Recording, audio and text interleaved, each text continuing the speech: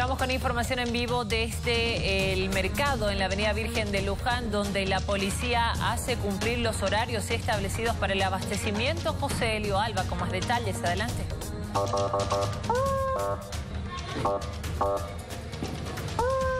Buenas tardes, estamos en la zona de la Avenida Virgen de Luján, donde acaba de llegar una de las patrullas de la policía boliviana para poder hacer acatar el horario permitido de compras en los diferentes centros de abastecimiento. Recordemos que de 7 de la mañana a 12 del mediodía es horario permitido para el abastecimiento de las personas.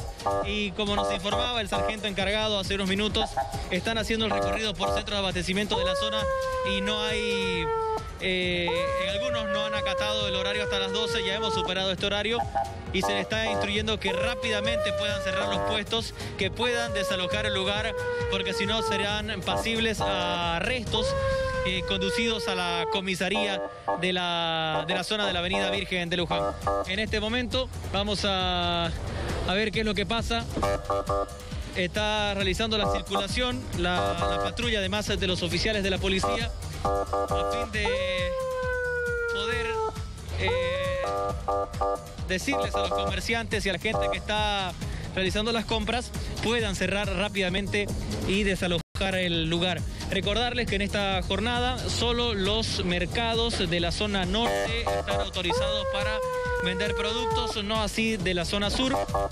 Hasta el momento no se han registrado arrestos, no hay personas detenidas, simplemente se está instruyendo que si es que son reincidentes, si es que el día, este caso viernes, eh, vuelven a abrir y no respetan el horario, van a ser sujetos a arrestos los comerciantes y también la gente que infrinja el, horario establecido para realizar las compras. Vamos a llegar a la avenida Virgen de Luján también aprovechando para mostrarle el movimiento que hay en este momento, tanto de vehículos como de camiones.